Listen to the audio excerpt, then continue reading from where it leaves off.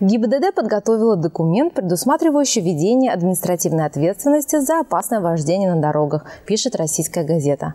Предполагается, что размер штрафа составит 5000 рублей.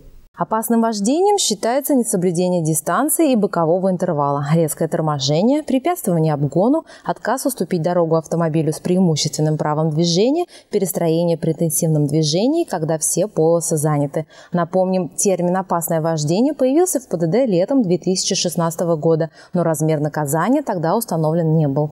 Верховный суд посчитал, что некоторые нормы пункта нарушают права граждан. Например, пункты о несоблюдении бокового интервала и перестроении при интенсивном движении, которые четко не определены и допускают двойное толкование.